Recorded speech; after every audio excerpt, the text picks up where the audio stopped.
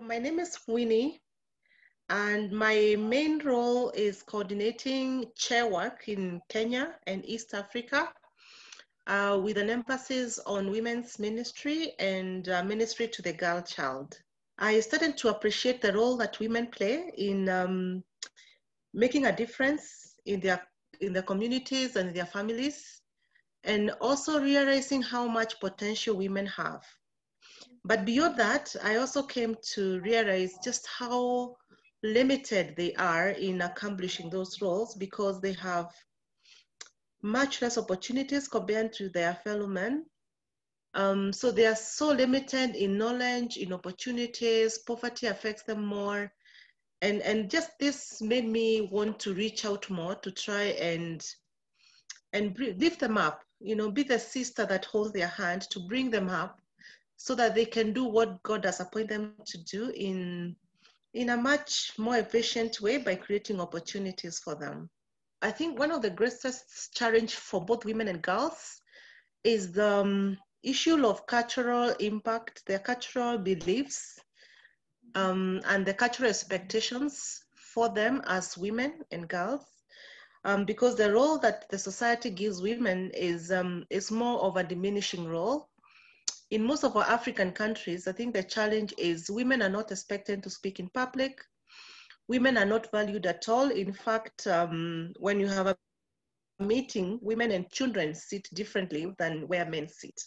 So that's one of the greatest challenges because um, with so much potential within and, and culture not allowing that potential to come out, that's a huge challenge. You find that um, most women and girls have much less opportunities to go to school. So a lot of them will be illiterate. They don't know how to read and write, and that again put them in a lower position. And then looking at even their uh, like, like reproductive health, which is a basic thing for women, you find that a lot of women do not have access to that they do not understand their bodies. They do not have um, access to you know medical care when it comes to reproductive health. So there are a lot of challenges that you know women are encountering.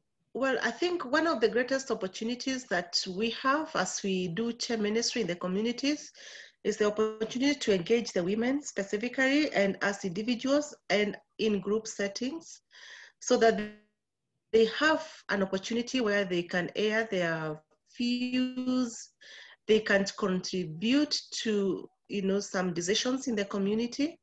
So that alone gives them a voice, gives them a voice. And it raises their dignity. You know, they feel like they have something to give. Um, and then the other thing is that there are several programs that have been tailored specifically for women.